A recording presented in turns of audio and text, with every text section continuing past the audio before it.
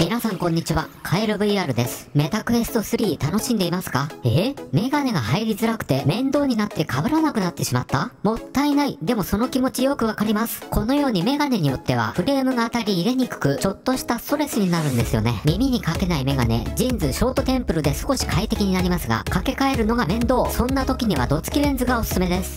ということで今回はメガネショップアイさんの度付きレンズをご紹介いたします。僕がオキュラスクエスト2が出た時に購入経験があります。日本国内のメガネ屋さんということもあり、サポートが日本語なので安心です。とにかく対応が丁寧で回答が早く好印象。今回オリジナルの製品同等仕様となるクエスト3専用ドツキアタッチメントのサンプルが仕上がったので使ってみてほしいというご希望をいただき、お受けすることにしました。ご提供ありがとうございます。特徴的なのが反り角を再現している点、角度をつけることでメガネと同じように自然な見え方になるそうです。以前 VR6 さんのドツキレンズをご紹介しましたが、その比較と使用用した感想を交えながら購入方法をご紹介していきます。それでは行ってみましょう。Amazon 販売でバリエーションは5種類、リンク先は別々になっています。詳細は概要欄をチェック。今回お送りいただいたものは、一番安い基本タイプ、反射防止と撥水コードがついて、税込8500円。と、基本タイプにブルーライトカットが入ったタイプで税込12,320円。いずれもマグネット式ですが、基本のベース部分は共有するので、こちらはレンズのみ。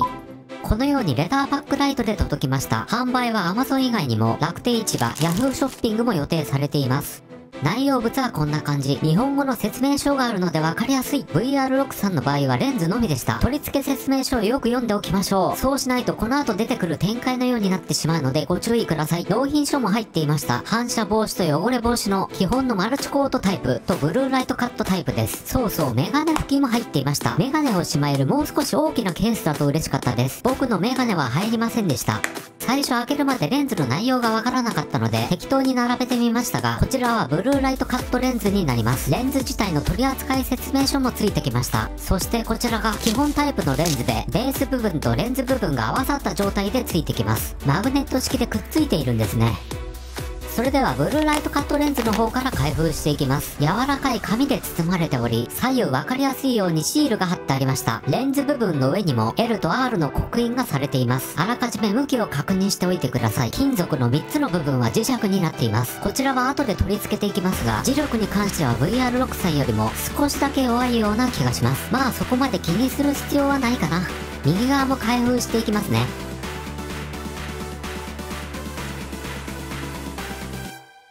で、こちらが基本レンズとなり、ベース部分とレンズ部分が磁石でくっついたセットになっています。購入した際は合わさった形になってると思います。反射防止に関してはなかなか判別が難しいですが、メガネショップアイさんの方が効いてるような気がします。右の方も開封していきます。作りがしっかりしていますね。ズレなどはなさそうです。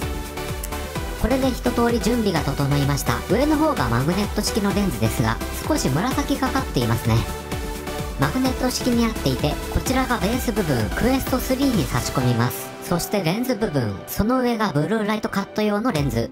またこちらは付属していませんが、ブルーライトを通すか通さないかを見ていきましょう。通ると色がつきます。基本のものはほのかに色がつきましたね。少しだけカットされているんでしょうか。そしてブルーライトカットレンズは全く通らない。これは効いていますね。レンズ部分の厚さは同じぐらいでしょうか。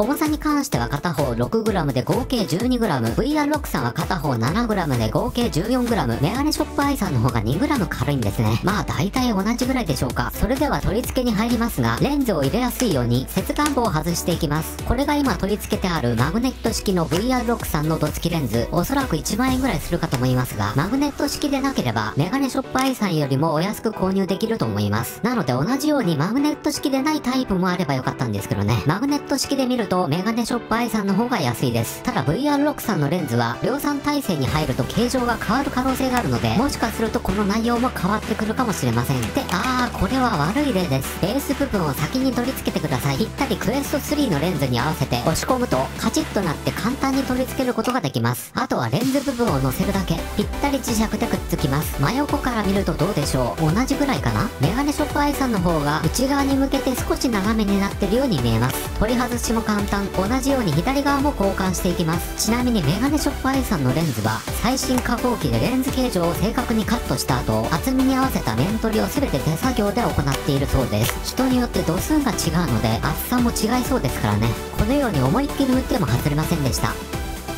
次にブルーライトカットレンズに交換してみました。実際にクエスト3内の映像を見てみたのですが基本レンズより綺麗に見えました。さらに色鮮やかが増したような。目も疲れにくくなったかも。ここは VR6 さんも同じでブルーライトカットの方が綺麗に見えます。これは取り付けの見本でメガネショップアイさんの Amazon 動画説明から引用しています。どうなってるかわからないのですが、カチッとはまる部分があるはずです。磁石でくっつけるレンズ部分は L と R の刻印が上の方になります。VR6 さんに比べて持ち手があるので滑りにくいと思います。レンズを外すときは上に持ち上げるより少し横にずらしてスライドさせるのがベストです。ベースの取り外しもこの通り。あとはメタクエスト3を思う存分楽しんでいきましょう。ちなみに接眼部の奥行き調整は視野角に影響。VR6 さんは奥から2番目まで、一番奥にすると額に当たってしまう。メガネショップアイさんは奥から3番目まで、2番目だと当たってしまいました。その分視野角が狭くなるでしょうか。ドツキレンズはメガネを外す手間がありますが、装着が楽で、メガネのフレームを気にする必要がありません。メガネの鼻の部分も痛くならない。レンズを目に近づけられるので、視野角が広くなり快適です。まあ、コンタクトには負けますけどね。もう一度比べると、メガネショップアイさんの方が厚みがあるので、奥行きを広げる必要がありました。ただ 2g 軽い。被っても違いはわかりません。デザインは VR6 さんの方がスッキリしています。見え方の差はあまりよくわかりませんでした。あとは好みの問題ですかね。次に Amazon からの購入方法を見ていきます。まずは各リンク先の真ん中の方にある度数範囲を確認します。メガネを作った時の処方箋を用意してください。範囲内であれば制作をお願いすることができます。VR6 さんの場合は度数範囲が広いですが視力が悪いと価格が上がっていく印象です。レンズは5種類ありリンク先は別々です。概要欄をご確認ください。簡単にご紹介していきますね。今回ご紹介した反射防止と撥水コートの基本セットは税込8500円。在庫があれば2日以内ぐらいに発送。超低反射傷防止超撥水静電気防止コートのセットが税込1万5100円。特注なので12週間ぐらいで発送。今回ご紹介した基本にブルーライトカットが付いたセットが税込1万2320円。在庫があれば2日以内ぐらいで発送。曇り止めコートレンズが税込1万1250円。特注で12週間ぐらいで発送。効果がたくさんあるルティーナプラス NRC レンズが税込2万1700円。こちらも特注なので12週間ぐらいで発送。全て時間指定なしのレターバックライトにて発送されます。こちらは度数例です。Amazon で注文が確定したら、出品者情報にあるメガネショップアイさんのメールアドレスへ、氏名、注文番号、希望度数の3点を記載し、